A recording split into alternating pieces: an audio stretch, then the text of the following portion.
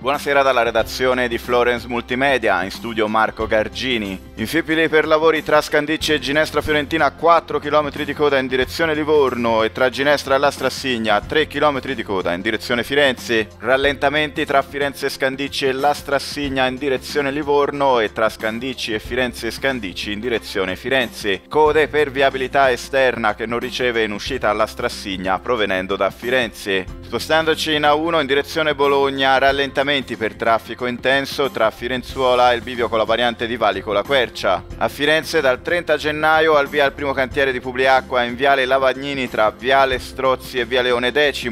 Informazioni sui nostri canali social. Muoversi in Toscana Info è un servizio in collaborazione con Regione Toscana, Città Metropolitana e Comune di Firenze. Buon viaggio!